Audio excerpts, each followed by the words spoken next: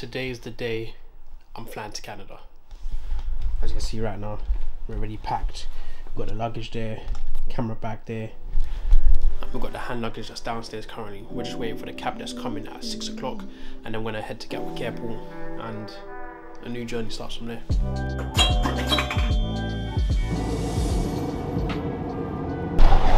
Getting back to where I'm going is like an hour travel. I'm not traveling an hour, I'm not gonna lie to you. I'd rather travel when I'm leaving, you see, gang, Nah, sorry, I ain't got the relevant tools to be traveling one hour to this destination, to be honest. I got my work permit, so we're here until 2025. Yeah, it was an easy process. They didn't ask for certain things that I had, but it's, it's fine, easy the better. It was just an easy, smooth roll. I got my luggage, and then now it's just to figure out everything else. I'm currently waiting for a cab right now. Because I am not traveling public transport for an hour. There's no way. There's absolutely no way. I'm a Brummy. I'm from Birmingham. what are you laughing at? All right, all right. oh, very nice, my friend. Yeah, you know, I've been, I work in UK, yeah, uh, two and a half, what? Good, go, go, stupid. Mamma mia. Are you visiting here, my friend? Nah, I'm here for the next two years. Oh, you just moved here? Yeah, yeah, just welcome, moved there. Welcome, welcome. Thank you, thank you. It's a great country. Yeah. Believe me, great country. How long you been here for? Oh, before you born. I'm here 24 years now. Oh, okay, okay. Yeah. I love, I love Canada. Yeah. So what made you stay?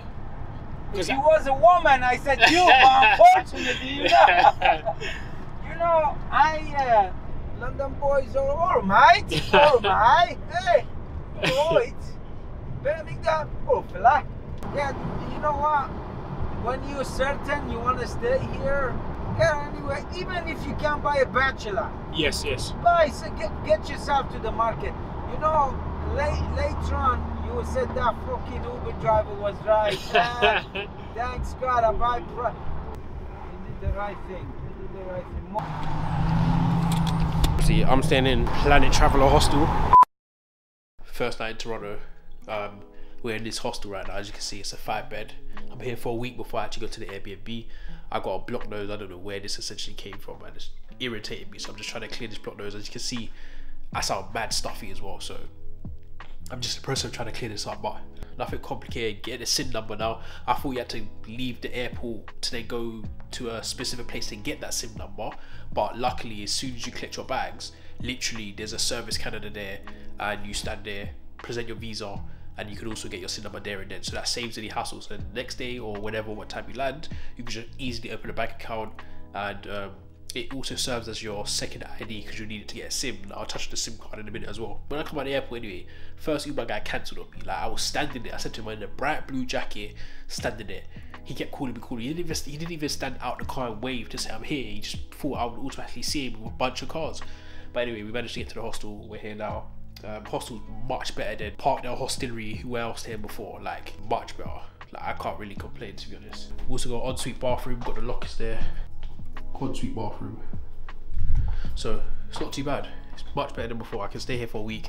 It's doable. I'm comfortable right now before I actually go to the Airbnb. Ideally, obviously, the long term plan is to be right downtown in the heart of the city and just be there for the foreseeable future, to be honest. And everyone I speak to keeps saying, You're going to be here longer than two years. And I'm just like, What? Like, I don't know, innit? I really generally don't know. In terms of the SIM card, I went to Rogers. In London, I'm getting 100, 200 gig for like 18 pound, which is equivalent to let's say, let's round off to 30 dollars. Here, you're paying 100 dollars for only 40 gig or something like that. Like it's ridiculous. So I gotta find a provider, which I'm not gonna do today. I'm just gonna chill today, uh, go back to downtown. Yeah, take it with me, and we'll see it from there. To be honest, but other than that, I'm feeling good. It's a new experience, new everything's new for me right now. Yeah, it just feels good. It, it feels like I'm I don't know. I don't think it's really kicked in because I still feel like I'm on holiday, but it still feels good to be here.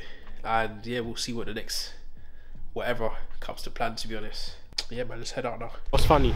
I was speaking to this camera yesterday, and I didn't even press record, so everything I was saying wasn't even being noted or taken down. I didn't get to open the bank account yet because you need your work permit thingy.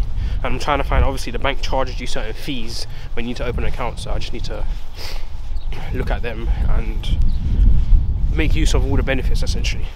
Heading back now, apparently it's a weather storm. When it says minus four and it said it feels like minus eight, it really feels like minus eight. But Toronto, I'm here.